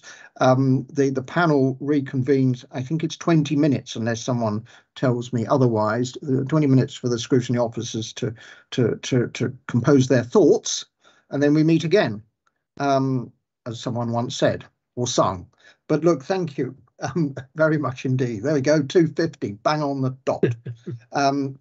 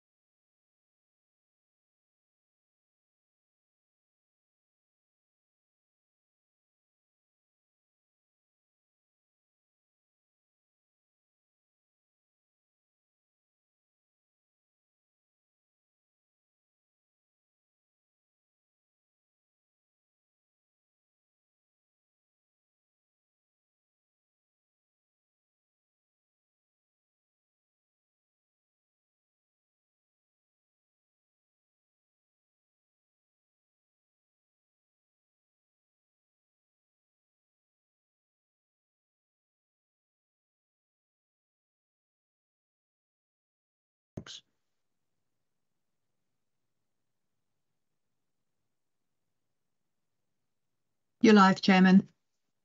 Thank you, and welcome to those who are um, with us for the final section of this uh, uh, Education, Library and Lifelong Learning Scrutiny Panel. Um, uh, we've had a, a, short intermission to allow our um, scrutiny officers to um, summarise what we um, should consider as our panel's recommendations um, to the main scrutiny committee. So I'm going to turn without any further ado to Joanna. Um, and uh, Joanna, if you could just maybe introduce yourself and just, just explain the, the sequence of this particular section. Thank you, Chair. Yeah, so um, I will now outline kind of the summary um, and draw out the summary that was drawn out from your discussions earlier. Uh, sorry, my name is Joanna and I'm the Scrutiny Officer at Hertfordshire County Council. Um, so yes, I will be drawing out the summary from your discussions um, earlier today. Uh, and then we'll go on to um, recommendations that we've drawn out from your discussions. And obviously we'll be presenting them to you for further discussion and comments and feedback, as well as any further recommendations you have yourself drawn out from your discussions as well. And then also actions that we feel have um, need to be taken or were identified in the discussion. And for the for the benefit of clarity, the the, the conversation that ensues from um, what you're going to read out is is between the panel members. Yes. Right. Um, so if you could read them out, could you could you do it fairly slowly, um, I, so that if any members want to, would you um, like how you intend to do it and read it out? Yes, uh, I intend to um, discuss the summary first, so read out my summary, yes. and then move on to the recommendations. Yeah. But I can start with the recommendations if you prefer. Just and, and as long as you do it reasonably slowly, so I'm just conscious one or two people might want to take notes as you go along. Okay, so you would like me to start with the recommendations? And, Ch- no, just do, do, do, the summary, but but speak quite slowly. Okay. Yes. Ch- Ch- Chairman, what, Chairman, can we not have it shared on a screen? So that we can actually breed it? I, I I'm don't afraid... know. Um, no, it's will... been they've been had 20 minutes. They haven't had time to do that. I'll be sharing, uh, we'll be circulating the recommendations after yes. this evidence session for yes. further kind yes. of comments and feedback as well from yourselves. So moving on to the summary. Sure. So Hertfordshire County Council is the fourth lowest funded local authority for children and young people with high uh, level needs. Uh, from following on from this, we heard about the backlog in educational health and care plans and the pressures that children's services face with these. In the summer of 2022, the council had a shortfall um, of educational psychologists and officers, and therefore were not able to deliver um, on as many of these EHCP plans. Uh, this demand has now been met and training is underway of these recruits. Members also heard about um, further pressures to this, um, the school transport, uh, to the council school transport costs and um, an increase in cost and demand for the home school transport, both for SEND and mainstream schools. The service will undertake an eight week consultation to identify ways to mitigate and manage these pressures. And they are looking at supply and demand through route optimization and increasing capacity, as well as encouraging behaviour change among, amongst parents through the Home Run app. Schools and pupils are also looking at the HertsLynx service to meet this demand. In addition to the shortfall of educational psychologists, members also heard that the recruitment of teachers um, is not meeting demand in Hertfordshire, and officers have been um, delivering promotional campaigns to try and address this. A further concern raised was children missing education. Um, however, the children, children's service are working to minimise um, exclusion and looking to bringing children and young people back into the provision of schools. Children's Services are also managing the demographics and development, monitoring de demographics and development, uh, and are working closely with the with planning authorities to ensure that there are the correct spaces and number of schools um, being built, and that Section 106 contributions um, uh, to build their schools are being met. Members also heard how the library service is developing and re uh, refurbishing its services um, and buildings across Hertfordshire, and how the service is future proofing itself and ensuring it is fit for purpose, and that there is a continued high footfall to these services. Um, library footfall is back to 73% uh, of pre COVID levels. Library officers and prophetesses are also working very closely um, to mitigate any kind of issues that might arise during the development of new sites. We also heard that library spaces and their usages are being redefined um, and they're becoming information hubs. One such example is the, uh, the use of pop-up banks with Barclays. And we've heard um, a, another key priority um, for the service and resources is finding a new location for the archive visitor centres to ensure that it uh, remains open. That's the kind of sum the conclusion, my summary, and I'm going to move on to recommendations now. There are three uh, recommendations. Um, uh, Paul, any member who thinks anything's been left out of the summary, that's not meant as a contentious question. I think you've done. I mean, it's quite a challenge having to listen to us and and uh, uh, and then then summarise it as we go along. But Teresa, Teresa, Teresa, I think you're on mute. Put my hand up and forgot to unmute. Um, I'd like to have heard something around children missing from education, but I'll wait and see what the recommendations are. Thank you. Thank you. I think the only thing that I would have added, um, Joanna, was right at the beginning when we were and I asked about the um, measurement of the transformation plan's effectiveness, and we were told about the KPIs. I thought mm -hmm. that was a really important question. Well, really important answer. I'm not going to so uh, They will important. feature in our actions. That will feature in our actions. Yeah, but if I could, if... and finally, yeah, uh, Jeff, I believe on, Jeff, just yes. Mm -hmm. Commenting on and the summary, is anything anybody wants to ask? Then we'll move on to the recommendations. Yeah, just just uh, for the home to school transport, um, I, I think um, what what the council is working on. I'm not sure if you mentioned them all. You know, personal. I think there was four key um, uh, issues that well, not issues, but um, what they what they what they're working on. Personal to personal travel budgets. I'm not sure you mentioned that one. Um, and then route optimization. I yeah, that uh, was included in the summary. It was, was it? Mm -hmm. And you mentioned the app Home Run and uh, electric vehicles. I don't think you mentioned that. Okay. Yeah. Okay. That, uh, thank, you. thank you. Yeah, we'll we'll make sure that that those four are included. Yeah, I think that okay. Um, thank you. Lovely. No, I think you've done, done a good job there, Joanna. Right, recommendations. Okay, the first one. Over to you. Uh, yeah. Thank you ever so much, Chair to promote Herts do, as a do place. them all. You you just cover them all, and then we'll right. Number one. Okay. Right. Number one. To promote Hertfordshire as a place to live, work, and develop a career in education, with particular reference to educational psychologists, teachers, and other educational educational staff through a recruitment and marketing strategy. Recommendation two.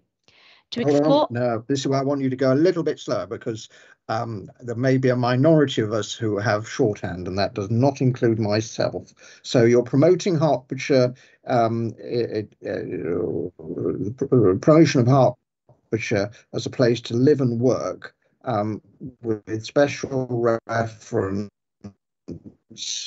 Um, they're not um, educational psychologists, teachers. Was there something else? Just finish and that one off again. And other educational staff under educational staff. We understand what you're saying. Right, that's number one. So it's promoting Hertfordshire, I'm, I'm not misrepresenting, as a place to live and work. And develop a, a career in education. And develop career, mm -hmm. yes, develop career. Okay, thank you. Right, the second one, going quite slowly. Yep. To explore options. Yep. To expand the support offered to schools with children and young people who present with challenging behaviour through commissioned and in-house services. Behaviour and, and that last, so uh, exploring options for widening the support offered to schools who have children with challenging behaviour. And the last part of that? So through commissioned and in-house services. Okay. Yeah, through commissioned in-house services. Yeah. And okay. Then the, and then the third one? The final one, to explore different and innovative and innovative revenue streams to keep libraries at the heart of Hertfordshire communities, to encourage new users and to serve existing users. Right, so explore innovative revenue stream schemes in order to um, just repeat that second part again. Uh, no, I think we got the gist. Innovative revenue streams. Yes. To keep libraries at the heart of Hertfordshire communities.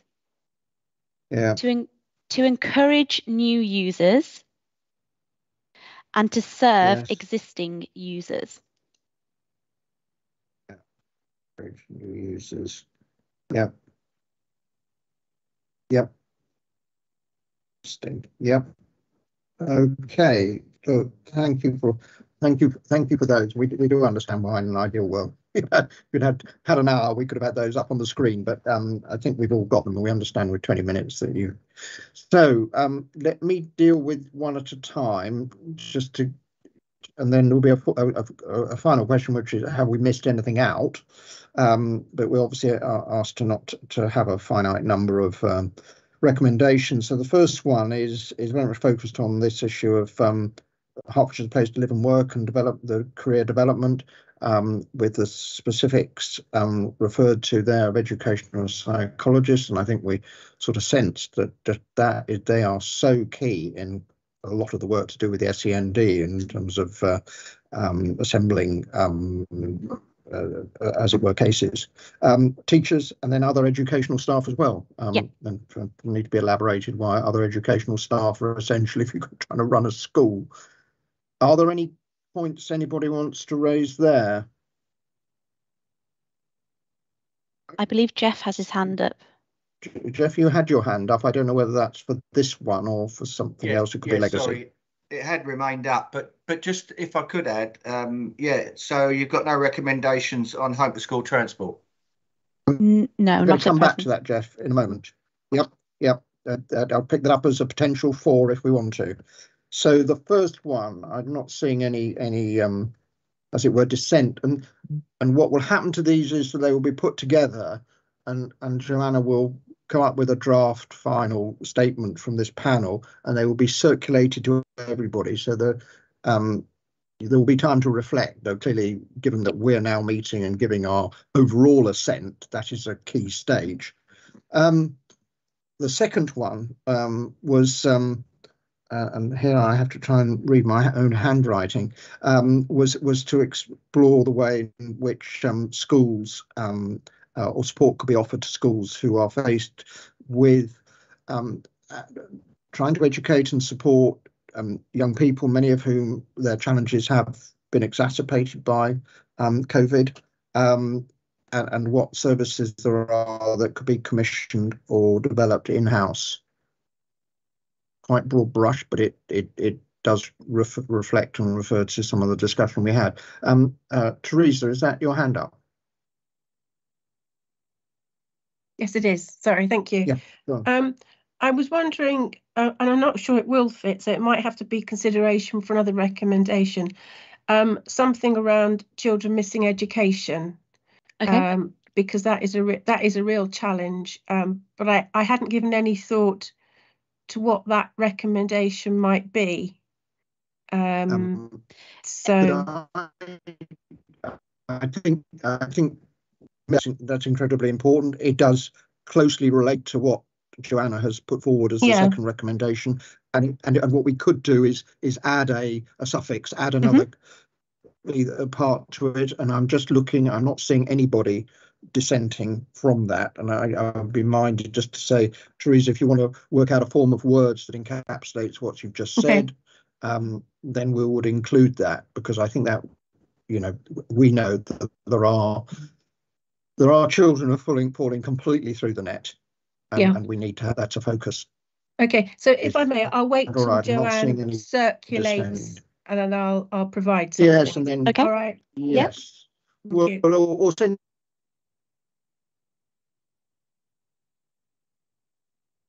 Sorry, Chair, I think I've lost you.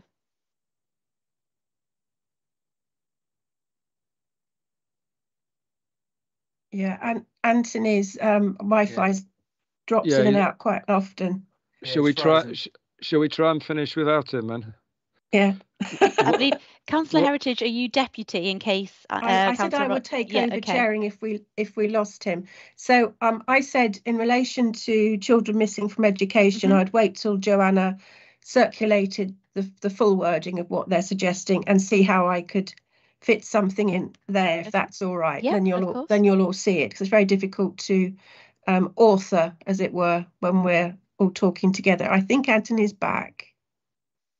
I- I think I'm back. Am I back? Yes. No. I am back. Okay. Um, I, I agree. I mean, Okay. Great. so I think we've covered that off and we, we there was no dissent from um, acknowledging that Teresa's point was an important one. Um, so we've done we've done two and agreed that. And then three was the reference libraries and there um, again, I think you've sort of picked up the, the threads um, very well. Um, is what what what innovations can be um, pursued um, to to as it were increase revenue streams, um, uh, which would then help to keep um, libraries at the heart. I know it sounds sounds sounds quite grand, but it is. I think it reflects our conversation. Liter- meta, literally and geographically, libraries at the heart of communities, um, encouraging new users. I think that was in the conversation, uh, as well as implicitly, obviously, those who are um, existing users. Is there anything anybody wants to comment on there? No. Right, so we've got three, um, and then I think um, uh, Jeff, you were wondering or, or about to Yeah. suggest that something to do with the home to school transport should be included. What have you got in mind? Uh, I've got in mind um, the, the fact that it's such a, um, a huge budget that um, you know work should continue. I know they're already doing it to looking at alternatives to uh, the existing system. Um, alternative, alt, yeah, should carry on working for alternative measures to um, you know try and put try and ensure there's there's not so much pressure on the budget. Don't know what they are, but uh, that's I think for officers to to work towards. You know, they're they're doing personal travel budgets, which I think is a very good idea. And I think Terry was saying that's out for that's going out for consultation. Um, route optimization, the app, electric vehicles. I mean, let just encourage them to do further work on it. That was all. I'm not trying to put words into your mouth, but I think that I mean, for me, I mean, looking at those figures, they are they are very alarming. The the, Yeah. the amount of money, and you're absolutely right to have uh, highlighted it. So uh, maybe including something like urgently. We want we, this need this work needs to be done sooner rather than later. Yeah, it Um, should be a uh, priority. obviously, let's we've got a consultation which has you know, the consultation is already out, and that has to have a fixed length of time. Of course, it does because there it, it's a it's an extraordinarily important topic and and vital for a lot of young people that the the transport is available. But um, it's I would have thought an onus on us to try and ensure that this is a high priority. Yeah. So some not, form not of- only just for SEN, but for for mainstream schools yes, as well. yes, Yeah. yes. Chris, do you want on this one? Yeah, I, would agree with Jeff, as I'm sure Terry would. The the budget, the amount of money we spend on school transport, both for SEND and for all children, is large. We, you know, we do need to look at what we can do to reduce it. The clear thing, though, on SEND, which was stated at the at the panel, was we can't claim any savings this year because this policy is to come in in September. So, you know, there is no budget saving relating to it. But because of the total amount of the travel budget, I do think it needs looking at, uh, and some and some of that may mean, you know, lobbying of government for changes of how policies, you know, work on which schools people go to, because actually, you know, we want to be in a situation where children getting to school uh, or hours of when schools meet. But we we need to try and see where where where are we spending the money? How can we save money? How can it we can still maintain the educational opportunities? Um, because that that so yes, Jeff. I think the wording probably. Yes. w- Could we ask the officers based on yeah. the comments Jeff This and I've made to add add a new recommendation, but I wouldn't want it to be the fifth recommendation. I'd want it to be the second or the third, because Okay. I think from a budget point of view, and my my understanding, and please correct me, those of you who've been councillors for longer, I thought we were trying to look at the budget uh, in particular and where we can make savings. Because um, because I have a s- second question which doesn't rate to the recommendations because I've not attended one of these before, but a lot of our questions were generic sort of questions which we might ask at panel.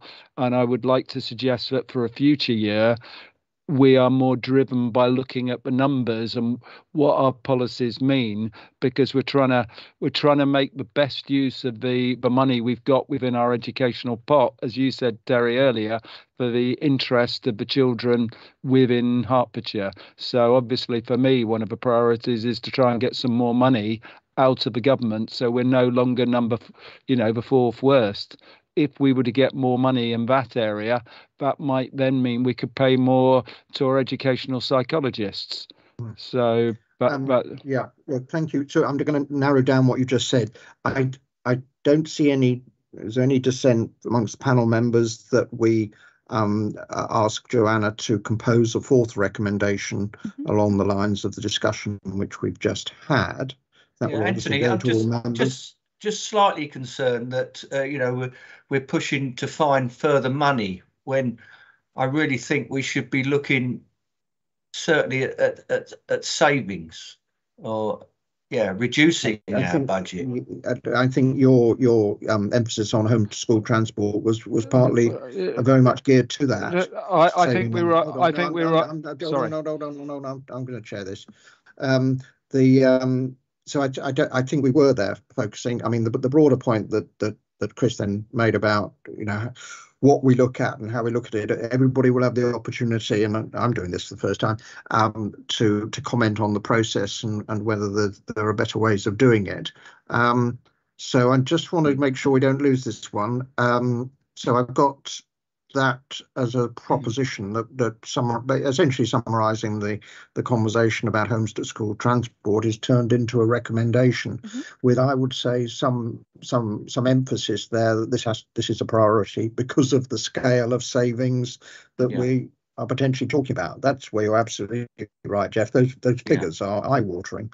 Yeah. Um, and we'd be in dereliction if we didn't um, didn't have it as one of our concerns. So I've got four there, and I, I suspect we probably would be um, discouraged from having any more than four. And I, I, I hope they can all be passed forward with equal emphasis. They're, um, now, is there anything anybody else wants to um, say or raise? Um, so the, the wording will be refined. That will then be sent to all of it, all the panel members, and, and please feel free to comment. Um, I guess it'll be some form of um, please do it by. Um, I think I I've think got- Leslie's got her hand up there. yes, I'm, I'm sorry. I'm, I'm just going to come to two people now. I've got Leslie, then Artemis. Leslie. Leslie, you're on mute. Yeah. I understand what we're meant to be doing is looking at the budget we've got rather than asking for more money for things. Although in, a, in an ideal world, it'd be great to have as much money as we possibly need. But I think we're meant to be sort of looking at what we've got at the moment and how we can make savings and Yeah. make it go as far as hmm. we can get. And I mean, I'm all for the homeschool. It, it's eye watering. It, it's crazy and finding ways of doing it better. But I don't think we can do it by asking for money for elsewhere at the moment. No, I agree. Can I just, I don't- I, I totally I- agree with Leslie. Yep, there. hold on. Yep. Sorry. I've, I've got, okay, I'll bring Peter and then I've got Artemis. Uh, but I think we we the one where we, the only one we actually mention money is we're looking for innovative additional revenue streams, which I'm sure we're being encouraged. So Peter, Yeah, no, I just say I, I totally agree with Leslie there. I think because if if we look look more at what we can do with the money we have rather than just keep asking for money, which obviously, yeah, yeah, it'd be nice to get more money, but but then we're we're we're, we're then dis- you know discussing about things that are within our control rather than everything being a wish list. Um, So you know, I understand what Chris what Chris was saying, but I think about you know it's more emphasis on what we do with the money we have and how we can and how we can make that more efficient. Yeah, I have just thank you, Peter. I've just had one of those rather portentous things flash across my screen which says five more minutes, which I think means we all go into the ether in five minutes. Artemis. Where are Thank Artemis, you, Chair. hello. Um, I, Welcome. Hello. Um, you better say hello I, to everybody. Um, good afternoon, everybody, and uh, I'm the head of scrutiny. Um, I just wanted to make a couple of points to provide some reassurance. So uh, the first thing is, it's not Joanna working away by herself, um, trying to capture your discussions and comments. Um, this is very much about encouraging junior colleagues to step forward. Um, so uh, the other thing, um, uh, Chris, I just wanted to come back to uh, your comment about questions being suited to panel and um, focusing on the budget. Uh, we do do a feedback exercise afterwards. And um, although I have noted your comments, I would very much encourage you to um, feed that back to us as as part of the process that we have of learning from the this iteration of the um, budget scrutiny. And um, again, just to reassure you, you will see a written up version of this. Um, we do do this very quickly. Uh, the recommendations will be uh, then ratified once you've had a final site. Uh, they will be ratified at the meeting of the OSC on the 6th of February, and that's that's how this all moves forward. So thank you. Okay, thank you, thank you for that. That's that's that's really helpful. I was just going to add one thing, and I hope nobody. Uh, this is not meant as a contentious thing either. Um, I'm not asking for the um, issue of the archives to be a recommendation, but I think it would be useful uh, if we could ask for a briefing note because there were clearly reasons. I mean, one accepts yep. there must be reasons why officers have to be circumspect when one's talking about property and properties. But it was, I, I think it's it's so important, and uh, a briefing note to to the members at some point would be, I think, useful. Okay, um, brilliant. Oh, Sorry, uh, Chair, can I just, because uh, yes, I'm aware of the timings, we have a couple of actions as well. Uh, so I'll add to that the briefing note regarding the, the archives. Uh, do you yes. mind if I just run through the, the actions quickly? There's three that yes, we've identified. Yes. Brilliant. Um, so for officers to circulate the um, SEND strategy KPIs with members, so they're fully informed of that. Um, for officers also to provide a written response regarding the data modelling of the building of new schools, both SEND and maintained, and whether they are going to meet forecasted demand. And then for officers to share the uh, outcomes of the eight week consultation regarding home to school transport with uh, members as well, including now the briefing note regarding archives. Well done. Thank you. And then you've got the last point, point about the archives. Look, thank you. So look, um, the members of the panel will reasonably shortly get the recommendations in draft form. Um, uh, please do feel free to respond, um, particularly obviously if you feel they they deviate from what we've discussed. Um, as Artemis has said, um, th there is there is and absolutely necessary um, feedback opportunities um, uh, on the, on this process. Um, so feel free to to complete those. And um, I've also must thank, and she's remained completely silent, but um, Bria has been the scrutiny support officer to me, as it were, and I'm very grateful to her for um, all the things she's done to ensure that we um, we managed to proceed through our business. So thank you to to her and to Joanna. Um, thank you for that. That's really quite a task. Someone hands you that you've got 20 minutes to summarise that lot, um, and um, you did, did did so very in a very accomplished way. Um, Artemis, thank you also for your support, and thank you, colleagues um, for your um, attendance, or some of you in some places all day, I think. Um, but thank you very much indeed. I think that's well, it. Thank you, Anthony. You've done a good